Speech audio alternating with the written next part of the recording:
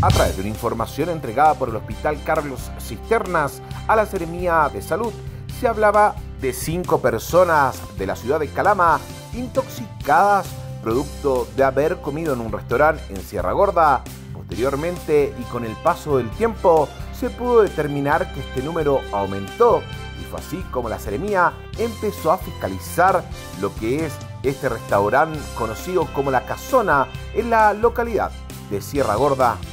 Con un recorrido por el histórico Pucará, se cerró el proyecto Mejoramiento de Servicios Turísticos del Pucará de la Sana, liderado por la comunidad y ejecutado con el apoyo de los fondos comunitarios de Minera Labra. La iniciativa incluyó una serie de mejoras en infraestructura y señalética junto con la creación de una estrategia de marketing y un plan de manejo del sitio arqueológico.